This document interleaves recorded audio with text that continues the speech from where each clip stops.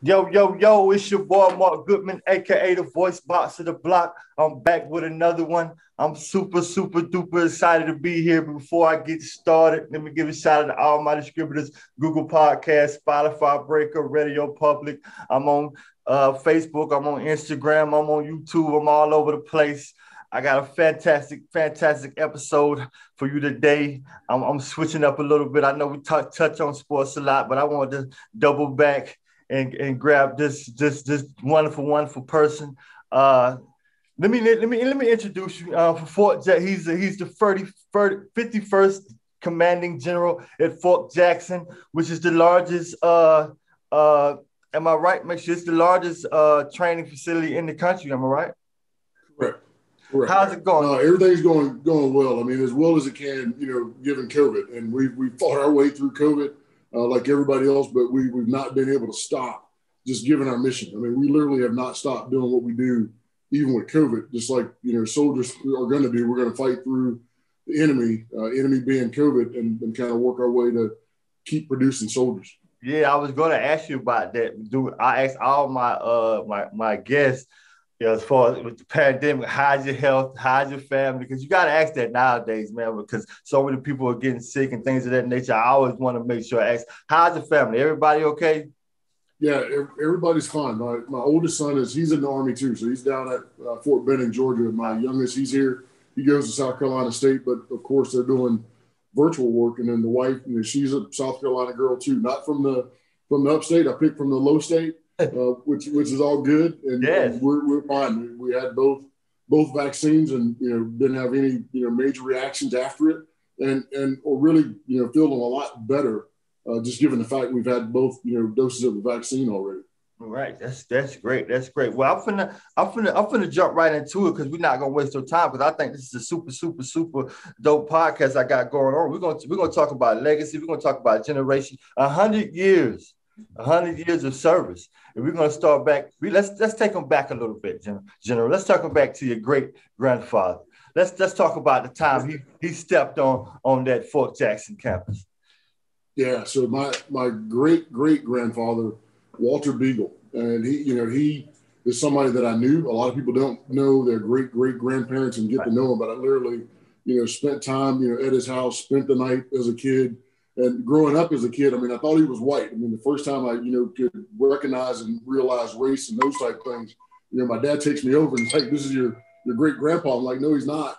He, doesn't look like me." yeah, he was, you know, back in the day, termed you know mulatto because he, he, was mixed, and you know, he was very very light, you know, hair, uh, just as straight, those type of things. But but I soon realized, yeah, this is this is blood relative, and you know, kind of saw through that. And but he never talked about you know his service. I really didn't didn't know about it, but you know I didn't I didn't know uh, how much you know he would mean to me later on in life, and the fact that you know he stepped foot on Fort Jackson or Camp Jackson back then in 1918. He, he never talked about it. Family a little bit here and there, and you know he passed away when I was 15 years old. So I mean, I, literally, my great great grandfather was around that long, and so all those interactions uh, were just great to have. But when he came to Camp Jackson, you know, there was a lot of things that he couldn't do. I mean, for a black male, even as light as he looked, he could have passed, as the term is used. You know, you could pass, but he couldn't pass back then. I mean, right, on the right. card, you know, mulatto or black, he's not going to pass. And so, you know, he couldn't fight in combat units, and, and, and nor any of his peers could do that. And they weren't going to necessarily deploy him into combat, but he did. He went to France uh, eventually and just a lot of barriers, you know, back in the day. Somebody asked me yesterday, could I get my mind around what you went through then? I said, no, I, I actually couldn't. Uh, when you're segregated, you don't uh, have the same quality of food, living conditions, those type of things as, is your, is your counterparts. And just because of the, the color of your skin. Right, right, right. And I want to touch bases on that, kind of give people a, a, visual of, of of what was going on back then during those segregated times, and a lot of the things that was happening in in in civil in the civil times was basically happening in the military. The same treatment of blacks and soldiers. Am I correct? Yeah, you're absolutely correct, and it's because I mean we're we're a cut of our society. So everybody that comes into the military, they're coming from society. So they're coming in with their biases, with their views, with their perspectives on thing, things. And even though the army, even back then, you know, was trying to, you know, make for you know equality in a sense. I mean, we, we, we continue to do that now and do it much better. You still have those people that came in. They're coming from the deep south and everywhere else, and those views they grew up with them. They you know based on their upbringing and everything else. So even though they're in an institution and in a system that's trying to make things fair, I mean, it's, it's the same. It's no different today. You still have those people that come in, and you have to inculcate them, you know, with Army values, and they were one team, and you know those type of things. But but it takes time. Back then, everybody was the same mindset. It was just black and white, literally. And you know, again, we can leverage it, but it was more so for labor. I mean, for as a black male, that's all they wanted. Uh, you know, wanted you know us for was was labor. Even as a soldier, the the unit that he and the blacks were assigned to was called a labor battalion. Right. That's what I wanted to get into. Like, you, going to do labor. Can you discuss some of the things? I think I was reading they loaded ships That's your great great grandfather did. I think they loaded ships and some of the other things. Could you kind of name some of the things that they was was they assigned to do? Yeah, so just a lot a lot of manual labor. So I mean, like you said, load ships when they were getting ready to deploy. I mean, building rail lines, setting up tents. I mean, so they would have to set up tents, you know, for white soldiers and others and their tents were like you know things that were you know brought out of trash cans and they were wow. you know outdated and dilapidated. That's what they lived in, and you're living you know separate. There are even trenches you know for training. You know, so soldiers that were going to to to Europe to fight the war, you know, they trained. You know, trenches, those type things. Well, the labor battalion, those soldiers, my great grandfather dug those trenches, and some of those in certain spots on Fort Jackson right now. I, I, I know exactly where they are. So I mean, it's kind of amazing wow. to to wow. ride by and look and go, there's there's an old trench line. Wow. Great grandpa might have been out there digging right, things. Exactly. You know, more than likely. But that's that's what they did. Anything that dealt with labor, that's what they were going to do. But they weren't right. going to fight because we weren't, you know, capable. And that was the mindset back then. We weren't capable. We didn't have the the mental capacity, you know, to to fight. You know, uh, as a black, as an African American. Now, knowing this information about your great great grandfather, did that inspire you to get into service, or you always wanted to get into service? I, I always did, and like I said, I, you know, I had some other you know cousins and uncles and you know and folks just right there in Enoree that you know that had served and and always kind of admired those guys. I mean, you know, it looked it kind of felt to me like you know they passed a test, you know, and, knowing right. a little bit of you know black history in the military, just kind of growing up. But it was one thing that I knew I wanted to do was just that service. And then kind of growing up, you know, and, and, and with my, my schoolmates in, in Woodruff, you know, it's that team, that team bond that we had. I mean, I played all three sports and, you know, I don't know if you know some of the names from my day, but Tony Rice and all those guys and Coach Varner. Well, well, I just had Tony Rice on uh, uh, a couple of weeks ago. I just had him on. Oh and I'm, I'm, telling you, I had so much fun with Tony Rice. He took me down yeah. lane. I can't wait to Tony Rice see this because he actually follows me and uh, he, he enjoys what I'm doing, man. So I'm so glad you you said you went to school with Tony Rice because Tony yeah, Rice, like you you and you know I, I know Tony Rice is like the man around here. Yeah, I, I, can get four stars. I can never surpass Tony Rice. So I mean, I'm not even trying. I'm not. I just know that I'm not even trying. So you, play you, play. so you played football in Woodruff? Yeah, yeah. So graduated there. We we played, you know, from Pee Wee League, you know, Pop Warner all the way up, and Tony wow. Wow. got separated from us in the ninth grade. So he went from ninth grade to varsity. We all stayed back. We went to the game on Friday night to watch Tony. Right. And we'd only we weren't rooting for the team. We were rooting for Tony. The team to lose. Yeah. He was our classmate, you know, as yes. ninth graders. And then finally we all catch up, you know, to him at varsity. And and you know the deal. I mean, just all those undefeated seasons you know, everything else. But, you know, but basketball, track, you know, we, we did all those sports, you know, wow. together. I didn't know. Rodney, Rodney Rice was in there. Oh, yeah. I did not know. Oh, yeah. That's crazy. That is crazy. That is crazy. that is crazy. So you remember a lot of you. You remember a lot of the winning days in the in of Woodruff. You was at that era. You you was that oh, era. Yeah. Oh yeah. On the on the back of our records, it had zero on a lot of them. Twelve and zero. Oh, I mean, you name it. A lot of a lot of zeros on the back of our records. I mean, um, you know, basketball, track, you know, there, because I mean, all those guys, I mean, and that's how they kept us, you know, conditioned and in shape. And we, we all played football, basketball, track together. Some guys, you know, kind of like Rodney Rice played baseball. Yeah. But but we, we were in condition like the entire year. So when it came to any sport, we never stopped. I mean, you just roll from one to the other. Some cases you're playing both kind of a little bit simultaneous. And then even in track, I mean, we had a couple of state championships, you know, in track and I and I and I always said that, and that's the reason why I had Tony Rice on because me growing up in Woodruff, I never hear about a lot of these things because they don't highlight or really or really or really remember a lot of the, the, accomplishment. Not only Tony Rice, but you and and a lot of others have accomplished it at their stadium, man. And that's why I like to bring y'all on to kind of talk about some of these things because we wouldn't know. Yeah, yeah. The, I think the high school does a really good job though. If you go in and look at like the Hall of Fame, because I mean, yes. like, I'm in the track track Hall of Fame. I'm really proud of that. So okay. Tony probably wouldn't tell you, but I was faster than him, so oh. you know, he, he, he, he, can challenge me on that one. But uh, we, did, we, did, race, you know, after after high school right. one day. But he, he was still he, was he was a fast man. And, he, was, um, he was. But but at least at least you know I'm just proud to be there. And I know Tony, of course, easy easy money being in the Hall of Fame for football. Yeah. He probably should be there for track, you know, as well. Really? But, yeah. Yeah, got it. I had told him uh, when he was on, I think earlier last year, late last year, Woodruff inducted him into the Hall of Fame in basketball. Yeah. So, like okay. I said, he, he, should he should be in the Hall of Fame for track too as well, like you said. Yeah, he'll probably get he'll probably get all three, and he and he was a shot putter, believe it or not. I mean, you know, yeah. He, I mean, he ran some. I did not. I did not know that. Yeah, he ran he ran some of the sprints, and then again because they were intermixes until they got the mix right. But uh, you know, it was me, Jeff Duncan, uh, James McKissick beat. I don't know if you know him. Uh, we were all on the four by you know 400 team. Tony was he started there a little bit on the four by one, but yeah, Tony shot put it. I mean, with that football arm, he could throw the ball out of the stadium stadium right. you know, from Woodruff to Reed probably. so if, you think about it now, it makes sense. Yeah, he was he was a shot putter too so so um I don't want to harp on too much of that because I want to I want people to I want people to make sure they round the bases on this story because it's an amazing story. So you get into the service and I and I um I read something you had said in the arc. You said it's important to know your ceiling at so you can break through it. So when you right. got into the service, did you did you know you wanted to become a, a general or you, you you was just okay? Let me see where I get in. I fit in. I know my history. What what was your what was your thinking? Yeah. So coming in, I mean, you, you just you want to survive. You want to get in any environment and just survive first. Can, can I survive this? Can I make it? And you're not really thinking about that ceiling yet. But once you figure out, yep, okay, I, I can swim. I, I, can I can swim in these waters. I can swim in the deep end of the pool. Hey, now I want to thrive in this environment.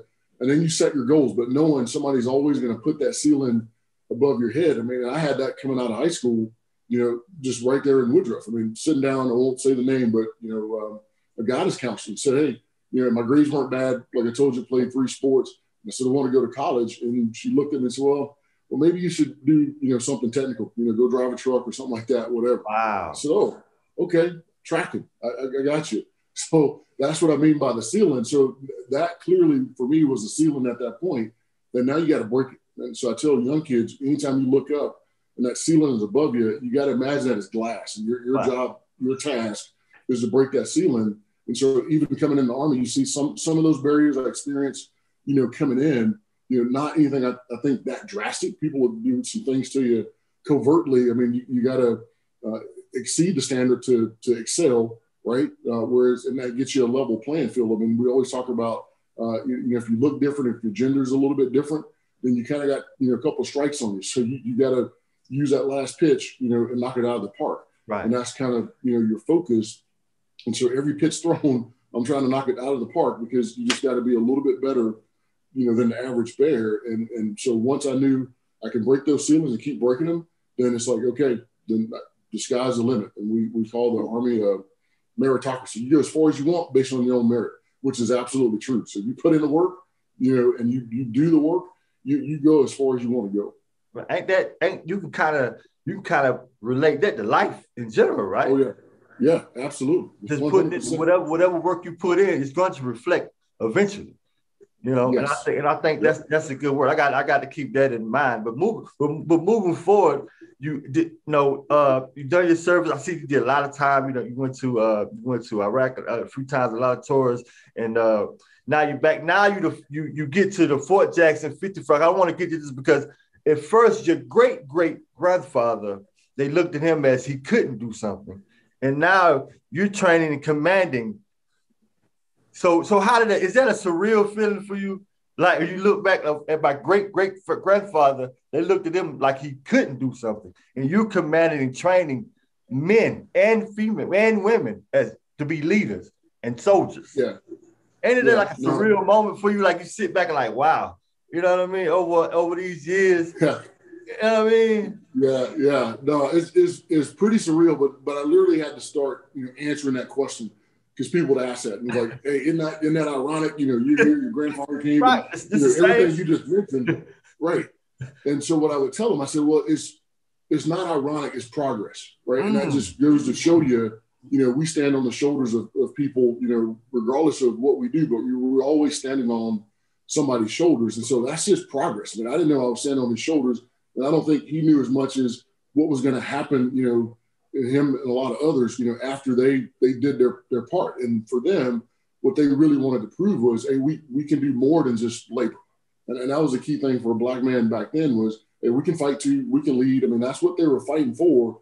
Granted, they didn't get it you know, in all cases, but but that's the seed that they planted. And so look look at the crop that is produced, which is me. Uh, that's progress. Right, right, right. And, I, and it was interesting through your generation of your last name. They took the S off. I want. I was just wondering, curious, why did why did I think your grandfather did that, right? Yeah, why did he yeah. take the S off? Yeah, this this will now this is a guess for me as well, but here, here's my, my my best assumption on it because my grandfather could not read or write, and and hmm. I didn't know that until you know I learned to read and write, and so we're out trying to read something. I'd spend a lot of time with him too, you know, weekends and and summers, and then I, I realized you know he got a check one day, and he said you know showed me the check and you know how much he made, and then he turned it over to sign it, and then I looked at it and I'm like, Grandpa, you put an X on it, and then and you know I asked my grandma, she's like, yeah, he can't read or write. Wow. Really? Okay, so what my assumption is is at some point in time somebody wrote the name down and just probably left the S off. Beagle. I mean, it's just like the Beagle. like the dog, and they leave the S off. He doesn't know any better. Doesn't bother to change it. Um, I don't think my grandmother bothered to change it, uh, and I know this to be true because my first name should be Milton. and because I asked my grandma, I said, "Why?" I never asked about the last name. I said, "Why is my first name Milford? Why, why, why on earth would you make my first name Milford?" And of course, that's my dad's name too, because I'm a junior. And she said, Well, it's supposed to be Milton. I said, Well, what, what happened? And she said, In the hospital, they brought me down, you know, your, your dad, birth certificate, and it said Milford. And I'm like, Okay, I'm good with it. And she left it at that. so I'm assuming the same thing happened with the last name because you, you figure at that time, I mean, I guess gonna, they did. They I guess make a big issue. I guess at that time they didn't put too much emphasis on a name. Right on, on, the name or making an issue of it. I mean, you know, I mean, you think about you know some of the interactions they could have had, you know, whether it be a white merchant or whatever. Here's, you know, your name, they sign something. I'm not, okay, I'm not going to make a big deal of that. Just leave it as is. But there's another part of my family that lives up up there, you know, Laurens, Ora, in that area, and they keep the S on. And so there's always this internal family thing of like, your, your last name's spelled wrong. No, it's not. Yours is. So and these are like my first and second cousins. Right, right, right. Right, right, right, right. Back and forth. So yeah, so the S is not coming back because you know, I, I stick with my story. I'm going to stick to it. But everybody on, you know, my grandfather's side, my uncles, that whole side of our family, there's no S. And there's a couple others wow. The same way. But like I said, his brothers that kept the S, like their siblings and you know kids, they all have the S on the end of their name. Wow. So that could be a, a tad bit confusing in, at, at, at the family reunion. oh yeah, oh yeah. yeah. You know how I go. After we might might come to blows or something. But yeah. So I want to I want to I want to talk about the the the anxiety. I think you you talked about. I was reading while I was watching a, a video of you in a in a mini in a mini, and you was talking about uh mini uh car you was riding somebody, and you was talking about the details of some of your uh trainees that come in with a lot of anxiety, maybe depression when they see they walk in and they they shook. You don't know they got attitudes. How do you how do you determine? Oh, this she's to be a soldier or, or he, he's to be how do you kind of determine or you can't determine it's it, you gotta you gotta wait yeah you, you can you can determine it was the mini cooper ride with uh the, the former USC president, yes, President yes, Castile. That, yes, was, that was the coolest thing. You that was great too. That, I want to say that was great. I wish oh, I could do that with you. You know what I mean? Towards the end when you was coming down the thing, that was that was crazy. Yes. but cool. I mean, totally, totally awesome. But um, you can tell when they come in. I mean, it's just like you know a football, you know, field or basketball court, whatever.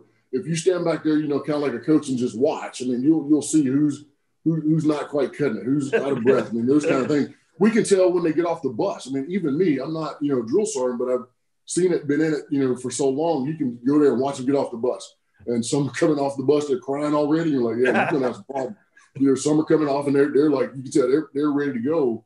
And and those are the ones. It's, it's like the I hate to say weak ones. It's the ones that you know are not quite there yet.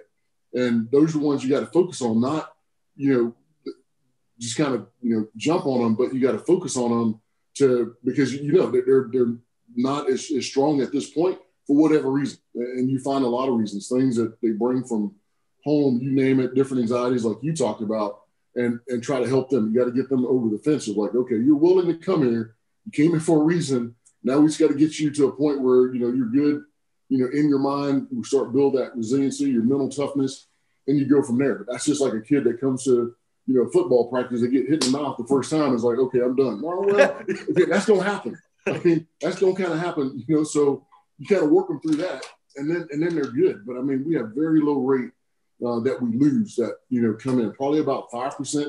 But right now we're at about three percent, which is good, and, and, that's bringing in a thousand a week. So right. you figure out of a thousand, we're, we're I, only. I read, I read, y'all bring in a lot. I think you, I think it was fifty percent male and six percent females. Yeah, for that, that, that is a lot. That is yes. that is that is a lot, and that's massive. And I think and I yeah. think that's and I think you do a wonderful y'all do a wonderful job at that facility. I salute y'all, man. Y'all y'all do a wonderful job. And and I I I didn't know you wrote a book. I want to talk yeah. about the book, The Rock, because I want to talk about you because this is why because you were an inspiring leader, a strategic planner, a team builder, and an author. We can't leave the author part out. So talk, I want you to talk about your book because because I, I didn't know you wrote a book until the end because I was researching you for the last couple of weeks. And when I saw the video, I said, "Oh, he got a book out." So I started reading the book. I'm at the early stages of it. I got I got um I got it pulled up. But I want you to talk about your book. Is that rock? You you you you. I, I like when you said you said uh, any organization has to have a rock, and I want you yeah. to just talk about why you wrote the book, what inspired you to write the book, because I know you was talking about a lot of people was encouraging you to write the book. So just talk about that book a little.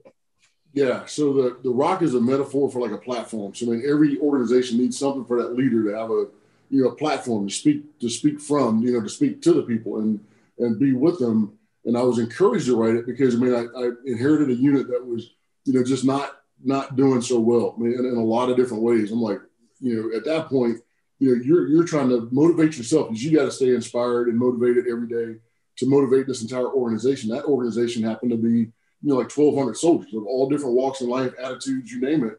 And there are divides in that and, and all those type of things. And so just by me, literally, and that's where the title came from, was The Rock. Because I mean, I went out, you know, first time and like spoke to him, but I couldn't see everybody. Because I mean, you're like, you know, eye level with with a formation of 1,200. Just imagine yeah. you can't see everybody eye, eyeball to eyeball. And like, yeah. you know, being a good country boy I am, and like you know, the, the old man that tells you, you got to look a man in the eye, woman in the eye, and like talk to him. I said, I, I, need, I need something to get up to elevate. And so I came back the following week, and there was this big rock. I mean, literally, I don't know how they got there. It, it had a forklift or something, but I still almost two hundred pounds. Almost two hundred pounds. Right. You know, and I could see everybody, and then and from that rock, just you know, talk to them every week, and it was you know more almost a mix of like pep rally kind of stuff, motivating kind of things wow. that you know I didn't intend to do. After I did the first one, I'm walking away. You know, everybody's kind of fired up, pumped up, and a soldier comes up to me. He's like, "Sir, that's pretty good. So what are you gonna do next week?" hey, I wasn't planning on doing nothing next week. That was kind of, you know. So I had to keep doing it, but it was it was causing you know that growth, causing that connection across the formation, and, and we absolutely achieved like phenomenal stuff and that's why they all came back. I mean, a lot of soldiers to this day still send me notes, everything else. I mean, just like I'm, I'm still like their boss. And this has been, you know, 2008, you know, 2010 window, but I get notes and letters and all that kind of stuff from them all the time because it was just so amazing what we accomplished. And that was just the power of me standing on a rock talking, but really the power of them believing, you know, and, and me leveraging my influence over them and, and them just having faith and trust in each other to get a lot of stuff done. I mean, if we'd have been a football team, we'd have been 12 and 0, no doubt about it. There, there's no no doubt about it. Uh, you know, it was it was just that powerful, and that's what amazed them. You know, just with that bond that we had. And I, and I think and I think we can again. I always take a lot of the tips that I, I hear and when I was reading, a lot of this to put apply in my own life. And I think we need to apply it in, in, in, in life too. Like having the rock, having somebody, a platform where we can talk about these things, discuss things in a positive manner. I think this podcast is my rock. Exactly. I, wanna, I was going to say, if you didn't say it, I was going to say it for you. That, that's you, you got a rock right now. That's it. You know what I'm saying? And, and, and, and a lot of times, me, I like I like the diet. Uh, not only uh, a physical diet, but a mental diet of what I hear, read. Yeah. So sometimes you have to create your own platform.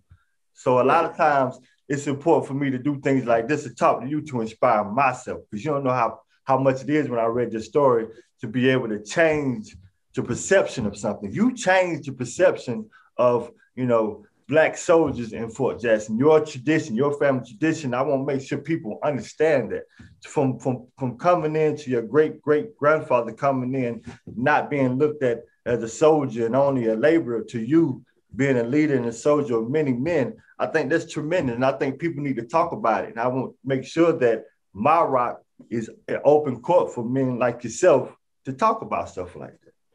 Yeah, no, you're, you're, you're spot on and perfect. And what you're doing, I mean, I applaud it. It's great. And I mean, and I and I, I hate to throw this at you, but it, but it's great. And me growing up, you know, in Enoree I remember your grandfather extremely well, and yes. not only him, but you know, because he lived like four or five houses up the street from me, and so you know, walking out whether we were sneaking to the store or sneaking to the swimming pool, you, know, you go by you go by Mr. Israel's house, and, and, and all those guys hung out you know, under the tree. I don't know if you know where the tree yeah, is. I know. The, I know the line. Right, as, yeah, right as you cross the railroad tracks, uh, and all of them are going to be there. But you know, every one of those guys. I mean, they always had you know something positive to say, something nice to say. You know, to us as kids growing up, and and you don't see that as much today. And, and they would take the time to talk to you. You know, you stand there. I could if it was only you know your grandpa under the tree, and I, am coming by.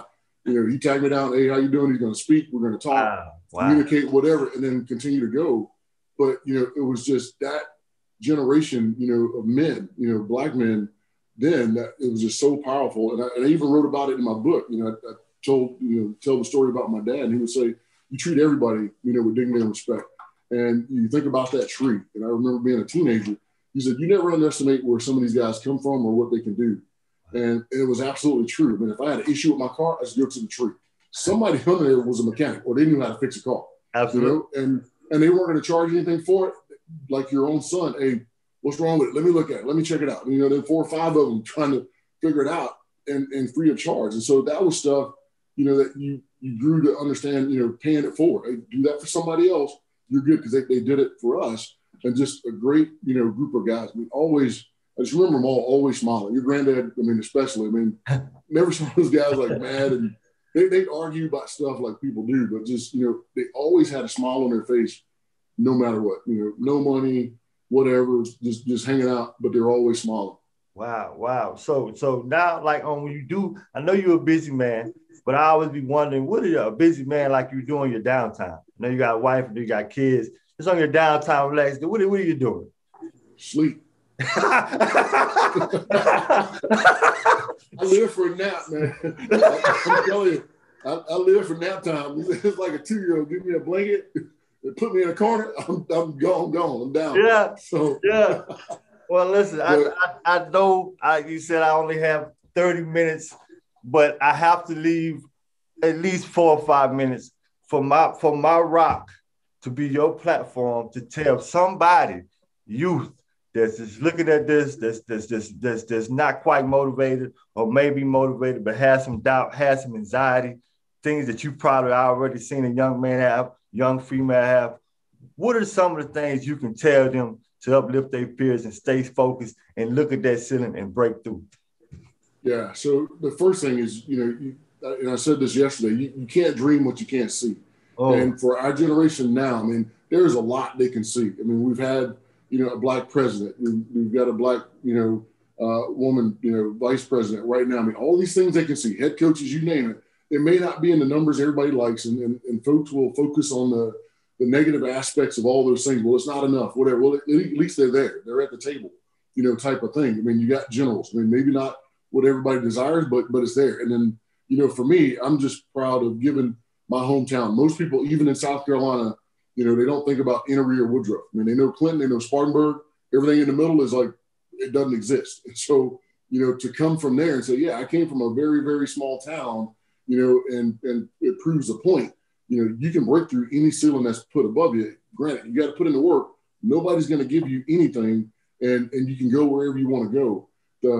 But they got to know whatever they want to be is out there, right? Just they got to focus on it. They can dream it because it's there. Uh, whatever it is, they've got to put in the work and never be outworked. I mean, that's the other key thing that I've learned. I mean, like you're sitting where you're sitting because you outwork somebody. Somebody right now is just talking about doing what you're doing, and that's all they're doing. you know, and we all know the worth of, of talk. I mean, it's, it's just talk. The same thing with excuses. You can throw excuses all day long, but I mean, excuses are going to get you nowhere. In, in, Army terms, we say the effective range of an excuse is zero meters. That, I mean, that, that's going nowhere. It's, it's, you know not going to do any do you any good. And you know, but put the excuses aside. Aside, you know, whatever it is they want to do, they they have to work at it. You know, and and success. There's no easy button. You know, it doesn't it doesn't come free. The thing it costs you is your time, and you know, give up that time for something that you want. When you get there, it, it's really worth it. Then all you're doing at that point is giving it back. You're, you're pulling somebody else because somebody's always looking at you uh, to see what they can be. Somebody's watching you all the time, going, I'm, I'm going to see you and I'm going to be better than you because I want to do what you're doing. Exactly. Right? Even exactly. even with some of those out there watching your podcast, and and that's what it's about. I mean, that should inspire you every day because somebody's watching, right? And somebody's working also right now to be better than you because they're just putting they're just putting in that work, right? And and that's good. That's something to applaud them for. So I just hope there there are those out there that you know whether they're thinking about the military or something else that they have that desire to put in the work, prove somebody wrong, and that one that same counselor that said, "Hey, you shouldn't go to college. You won't you won't ever make it in college." You know, she calls me to this day to come back to Woodruff to to speak at things, to do whatever, and I never made mention of it. It, it does me no good to like rub that in her eye. Look look at me now. Wow. It does me no good. She inspired the hell out of me. To be quite honest with you, by her telling me that, it's like, thank you. You just set the fuse right there. You just lit but, it. But you just lit it, right? so I, mean, really, I, I really would thank her for, for doing that, but I never thanked her because then she'd say why, and I don't want to say why, but but I do tell her thank you quite a bit. most young people, when that happens to them, they crumble. It's like you can't go down. I mean, you get in that ring and you start swinging, but you may go down for a minute, you may go to a knee, but you get up and you keep swinging, and you've got to do that every single day, and that that's what makes it worth it. Man, wow, wow. Listen, thank you. And before I let you go, you know I gotta can't go without saying something back home to the Enoree, South Carolina. You gotta talk to your people. What do you want to say anything to your people back home? Because I know you're a busy man. And uh, do you want to say anything to your people back? I know you got a lot of cousins. My mama gonna say, make sure he, he takes out the South to get in and read the line. you got anything you want to say to your people back home?